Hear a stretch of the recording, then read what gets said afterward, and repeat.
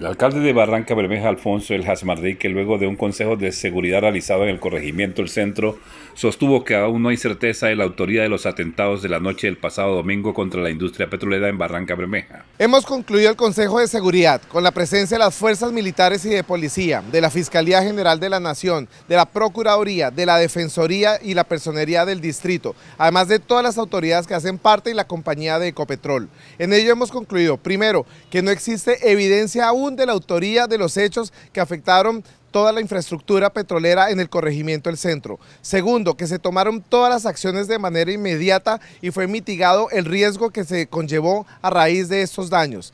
Tercero, que está en manos de la Fiscalía General de la Nación ya todas las investigaciones y una noticia criminal en las unidades especializadas para estos asuntos. Indicó igualmente el mandatario de los barranqueños que se avanza en las investigaciones y se tiene el control de la zona impactada por los explosivos. Cuarto, que tenemos absoluto control de toda la actividad petrolera en el sector, del lugar de las afectaciones y la recuperación ambiental. Quinto, que se encuentra bajo normalidad la actividad petrolera en el corregimiento del centro y durante los siguientes dos días se harán las reparaciones pendientes. Y por último y más importante, Barranca Bermeja es una ciudad que hoy está celebrando juegos deportivos, que tiene una activación importante de la economía, que somos una ciudad de paz y de progreso y que ninguna acción va a frenar lo que ya hemos venido logrando, que es una ciudad en paz y una ciudad que se desarrolla y sigue aportándole al país. Contrario a lo dicho por Alfonso Aljas como alcalde de Barranca Bermeja, el Ministerio de la Defensa responsabilizó al ELN de este atentado terrorista.